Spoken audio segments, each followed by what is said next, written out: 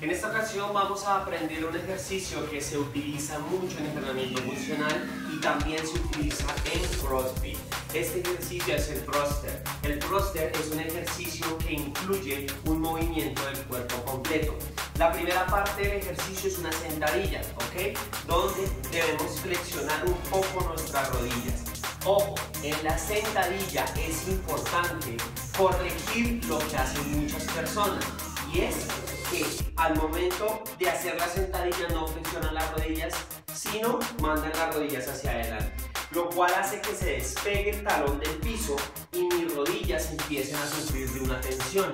Lo que yo voy a hacer es semiflexionar un poco las rodillas y saco mi cadera atrás. Con mi espalda recta me voy a sentar. Miren que no mande mis rodillas adelante. ¿Ok? Recuerden siempre tenerlo presente. Es un movimiento de la cadera.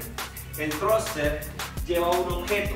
En este caso tengo unas pesas, una mancuerna hecha en casa con tarros de leche, un tubo de cortina, están llenas de arena, ustedes pueden hacerlo con un disco, con un balón.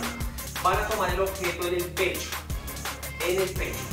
Van a sentarse y cuando suben llevan el objeto encima de la cabeza. Ojo, miren que no estiro completo mis brazos, no bloqueo los codos, porque no quiero lastimar las articulaciones. Y al momento que el objeto va bajando, yo desciendo con él, ¿ok?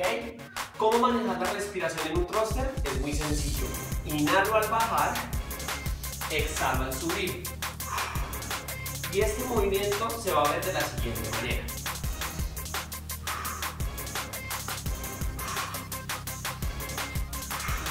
Ese sería un thruster. ¿Qué maneja el thruster o qué nos trabaja?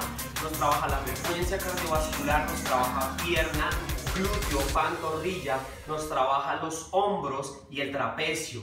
Aparte que siempre en estos ejercicios trabajamos la zona del core porque estamos haciendo movimiento, inhalación y exhalación.